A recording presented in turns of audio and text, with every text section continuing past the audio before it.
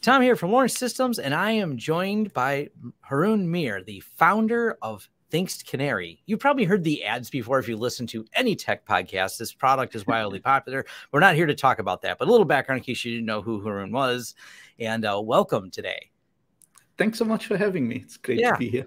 So, uh, Thinkst Canary, I, I think I probably first heard about it on some security podcast, but uh, definitely cool. And you have a lot of insights into the world of honeypots. And uh, that's kind of what we're going to discuss today. And of course, the goal isn't just to talk about how cool they are and, or anything like that. This is not an advertisement. This is about how you can play with them for free, really easy. And uh, I, I, started this on Twitter, and we were laughing, and we're gonna we're gonna show some of the results of me just tweeting out of "Would you click this link?" and boy, a lot of people were clicking the link here. Uh, let me go ahead and throw a couple things up here. Uh, if you're not familiar with Canary.tools, you can check them out over here. The uh, Canary.tools is the commercial product, and if you're interested, but the Open Canary is also adjacent to that. And this is actually what's really cool is you offer this whole free Open Canary project. We're not going to talk about this today. This is later. This is I, I play this a little bit. It's a little bit more complicated to set up because right. this is building your own honeypot. But right. absolutely, this is a free open source download on GitHub. All this will be linked down below, and uh, they have plenty of documentation and good documentation is great, uh, but it's still yeah, there's a few setup things you got to do to configure these, but it, it's all right. it's all in there. What needs no configuration is what we're going to talk about here is the canary tokens. This is just fun. I've been playing with this this morning and you can just I'm, I'm blurring out IP addresses uh, in the post production here, but uh, these are all the people thus far as of just a couple hours ago before we started this video that clicked the token with my clickbait title. Would you click this?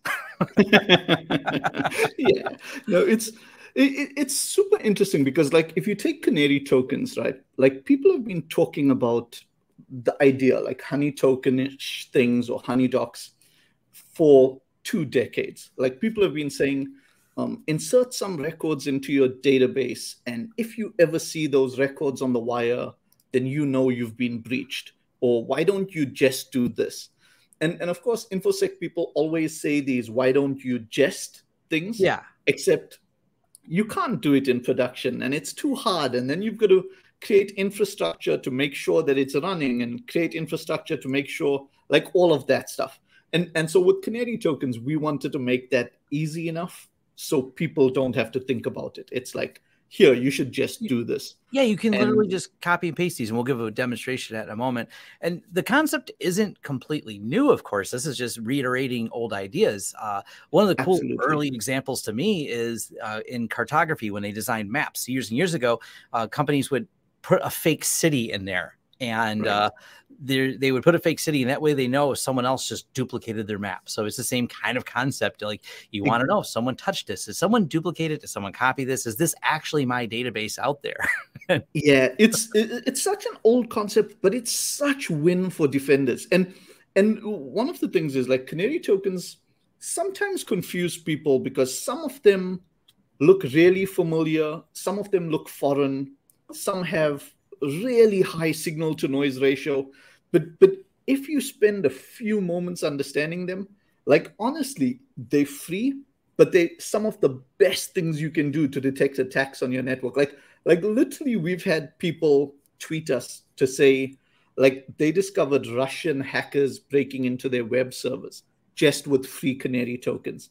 So like even though it's free, people should absolutely just go use it. Like we get nothing out of it. Like yeah. like we don't this is just part of a give back. This is the hacker ethos, and that's uh, in, in, for anyone who hasn't bothered to uh, research Haroon here. He definitely been in a hacker community for a minute, so you might have spoken at a conference old. or two. You know, the nicest way I've been called old yet. Thanks, Tom. Yeah.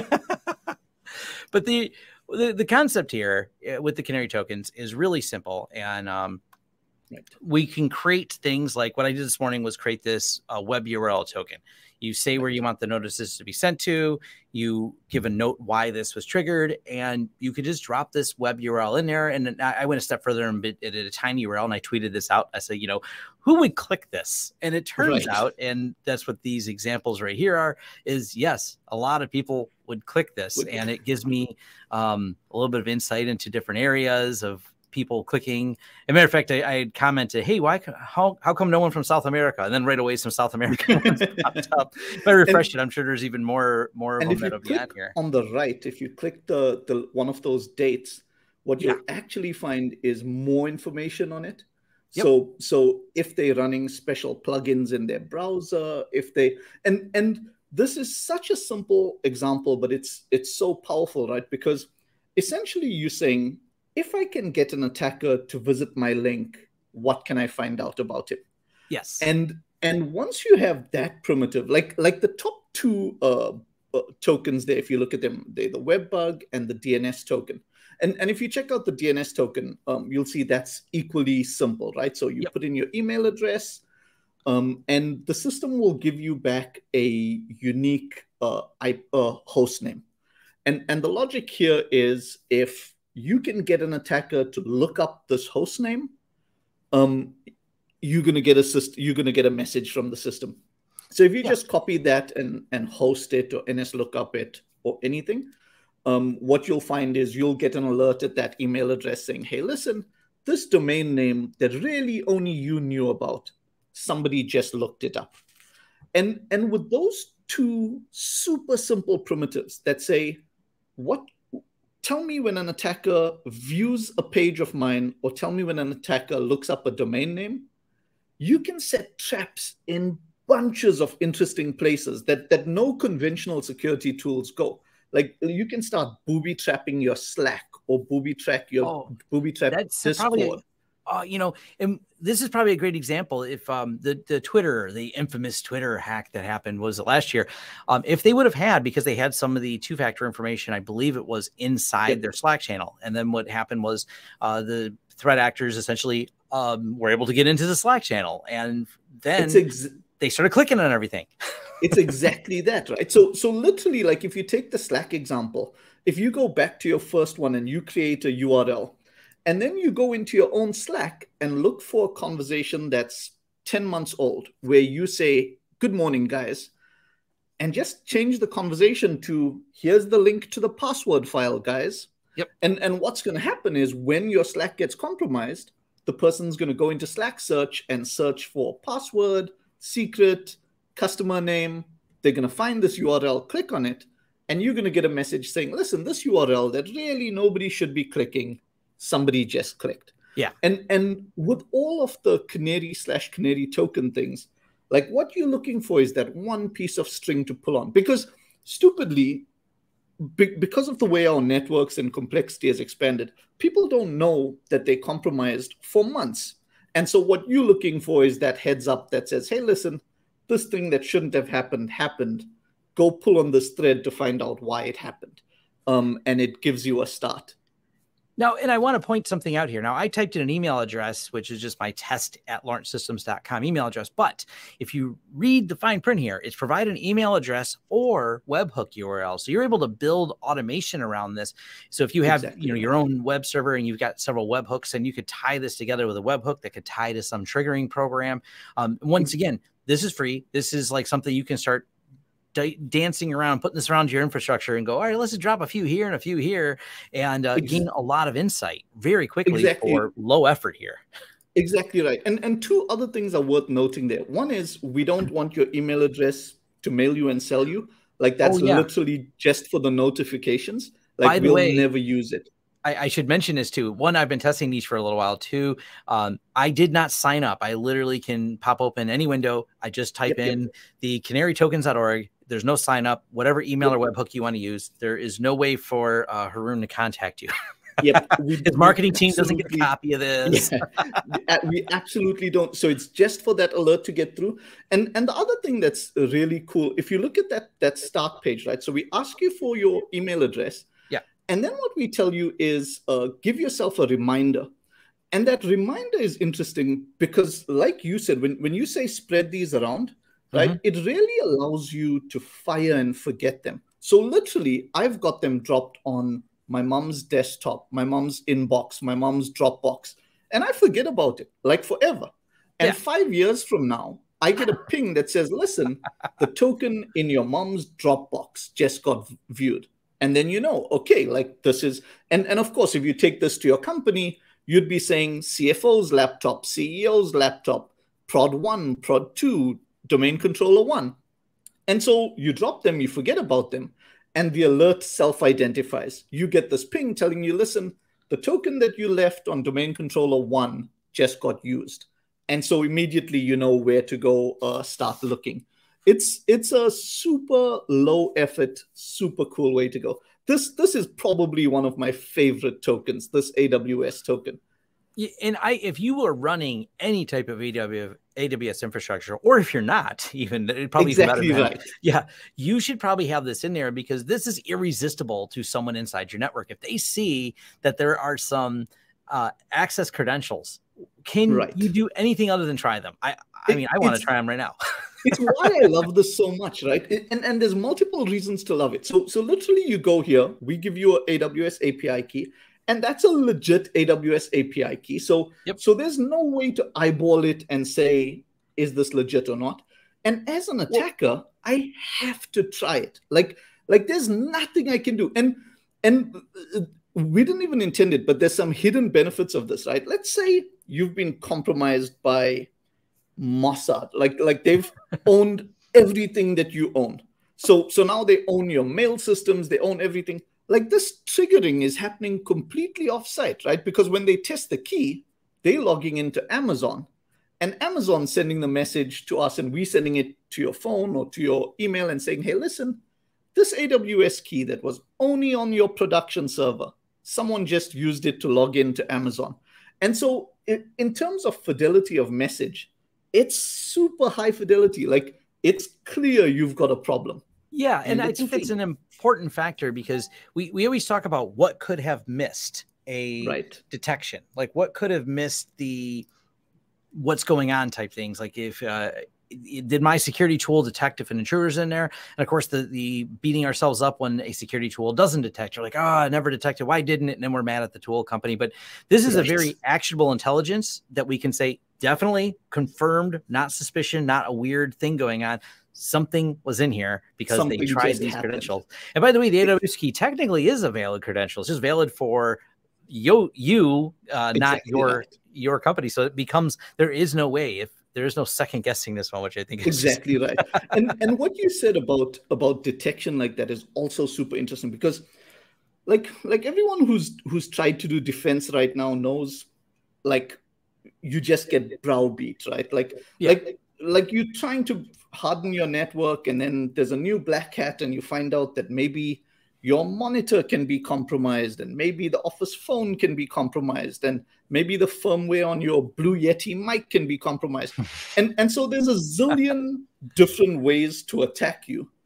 And and you try to patch them all but once an attack is on your network they there for a reason. Like like there's actions on objectives that they've got to do and let me use the AWS key I found is one of them. Like, let me read these secret docs that I found is one of them. And and it it really flips the the case around where now attackers have to worry about what they touch rather than defenders having to catch everything.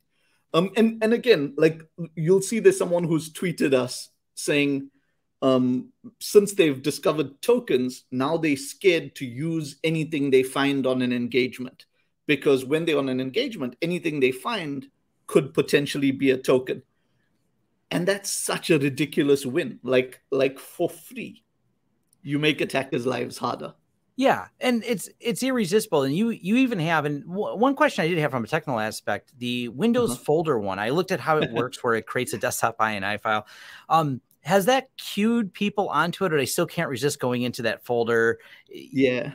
It's it's a good question. So so look there's certain uh, like for for some of the tokens we'll tell people that tokens like analogies are terrible because they work till yeah. they don't. Um but but like tokens are closest to tripwires. And and like you could spot a tripwire if you were going through somewhere like on an individual basis you can spot one but when you know the floor has tripwires, like it just changes the way you have to roll, right? You just yeah. can't. And and so like for almost every token, you could do really clever things to try to identify if it's a token or not. But if an attacker has to do that on your network, you've slowed him down about a thousandfold. Yes. Like like otherwise they're just running through their like bulls in China shops. The, Windows folder one's pretty cool, and I threw this one up, and everyone who is paying attention, uh, I, I, said, "How many people will scan this?" Because obviously none right now. Because uh, but in post production, I'm going to be watching this one here. it's it's such a winner, and and even though like like this this one is fun, like like one of the applications for this is the next time like your staff has to go through customs and you worried about like are they scanning hardware like you take this you have it in a sticker under their phone battery and yeah. and like the only way someone's getting to that and and the cool thing about most of the tokens is uh, a, a little while back collin mulliner did a talk on embedding these tokens inside of binaries to detect reverse engineering and and in his presentation he says listen when you are a reverse engineer and you reversing code and you find a web endpoint what do you do you surf to that web endpoint because you like maybe there's stuff there and and so now with with his system you get told hey someone's engineering reverse engineering your binary and you can start doing uh, cool stuff around it so it's it's really a neat take of uh, attacking attackers without the stupid hack back stuff. Yeah, um, and it, and lets you know. It, and like you said, the signal to noise ratio is really important as well. Um, right. We we are we get especially as defenders, we get such decision fatigue and right. notification fatigue because we're like trying to, oh, what do we decide? What is this and that? Is this good? Is this a uh, threat? You know, false positives. Um, they're challenging and they're always the the goal of any of these security companies is not to give us that many but the reality of these security companies is, is that well, they do. when each one of them is not trying to give us many cumulatively when we're using a security stack we we all right. preach defense in depth but defense in depth means having several tools that cumul- cumulatively make my day harder and my defense in depth is alerts to death yeah it's it's interesting like like the reason we do tokens it, like the same as our canary stuff like we aim really hard for low alerts. Like we've got customers with like hundreds of canaries, and, and these are canaries, not even uh, tokens, and they get four alerts a year. Um, and and literally that's what we go for is is like you should be getting like our customer success team. If they see you getting an alert a day, they'll reach out and say, "Listen, something's wrong. Like you've deployed this thing wrong." Yeah. Because because ideally these things are drop them, forget about them, and when they go off, cancel your weekend plans because uh, yeah, because they're in. exactly right. That's that is very cool. I think this is um I, one of the things I like is this is so tangible for even the most basic of uh, computer operators. Like you just, like you said, you can put these on people's desktop. You can put them on your desktop. If right. if you're just curious if the kids are snooping through things on your computer because you share a computer, drop a couple things on there, and uh, why not put, exactly. put, create a word document that says all my passwords? If someone clicks it someone was on your computer. It's kind of as simple as that. Yeah it's it's exactly that. And and part of the thing like like when you think about it like like you'll see people who are new to infosec and and you don't want to believe that it can be that simple. Like people will say like but but surely an attacker wouldn't click that. And it's like really? Like i've been on hundreds of pen tests and that's literally how you own networks. Like you find a document saying server passwords.xls and that's that's how that stuff works. Yeah and, and and unfortunately recently there was a rather large company that was breached and we found out that's where they were keeping the passwords in reality. And they should have at least had a token. They would have known because it, as it turned out the the threat actors were in there for a little while. And yeah. this is persistence is something they try to maintain especially the larger the company the more likely that they won't do a hit and run. They're going to do a strategic attack uh, and people sometimes underestimate until they get hit how advanced the threat actors have become. And knowing right. they're in there is so key because somehow they have evaded for whatever technique they may have used whatever security and defense in depth they've navigated around that. But um, boy they they are not going to be able to resist once in. Server passwords.xls oh count me in. It's it's why they did. Like like even if you're a super sophisticated attacker like the chance to spread like it's it's just your day job. Like that's what you've got to do. And and mm-hmm. so again it ends up working super nicely as a defender because it's it's all the stuff that's been done to our users like you just doing it in reverse. And and and the joy of it is that this really shouldn't be someone's full-time job. Like you don't need a counter intel team dropping tokens. It's like literally take five minutes create some tokens drop them forget about it. And when it goes off you'll know. And and if you made a mistake and put a token in a place where too many people are bumping over it you'll know. Like if you get two messages today delete that token or disable it so yeah. that token doesn't bother you and it costs yeah. you nothing right and it is such a just low hanging fruit that you can do on your network to up your game, understand if right. there's an intrusion, uh, give you a little bit of peace of mind on there, and know who's clicking through things. exactly right. I, I, can't really come up with an easy reason not to do this type thing. Neither can we. Like, like, yeah. but literally, that's our pitch. Is like, it's gonna take you five minutes. Just do it. Like, like so so we go to RSA like like other security vendors, and literally our pitch is listen, we're the dumbest product here. Like, like no machine learning, darknet, any of that stuff. We super dumb, but we work. So like, yeah. take five minutes and drop us, and then go do the other clever stuff. Just do this. Um, yeah. and so far, yeah, simplicity. Simplicity at its best here. Um, i will leave links to where you can check all of these things out. And in, uh, maybe if there's enough people commenting i'll dive deeper into but you the instructions are pretty clear if you wanted to use the actual canaries. You can run that uh, other one on a raspberry pi right? That's yeah i think that's one so, of the targets so open canary there's even people yeah. uh, online who have tutorials so like drop open yeah. canary on a that's raspberry a whole, pi. totally the the low hanging fruit, the get started today, get started. You could pause this video and have well while we made this video, you could have made probably 30 or 40 different tokens and already had them deployed places. That is uh, so easy to do. I don't know why you wouldn't want to do it. so sounds sounds like the way to go. Yep. Well, thank you for joining me. This was awesome. Uh, so I, I, like I said, I'll leave links where we can get to everything and uh, look forward to playing with these in the future and hoping no one trips over them uh, other than people on Twitter that I've been link baiting. because that's, that's just been kind of fun. Actually, we'll refresh it one more time because I did this just before the um, uh, just before we started, and I see more of them popping up. they just no, keep growing. Nobody, nobody yet from South Africa. That that seems like something that that needs to be resolved.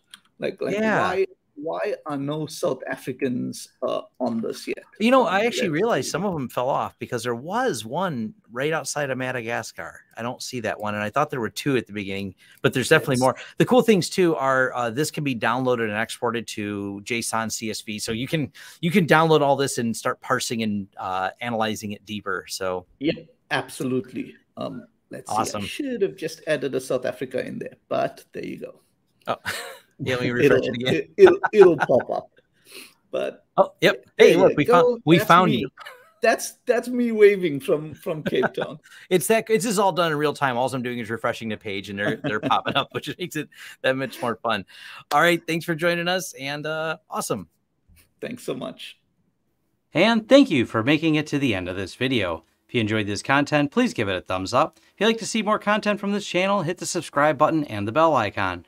To hire a Sure project, head over to lawrencesystems.com and click on the Hire Us button right at the top.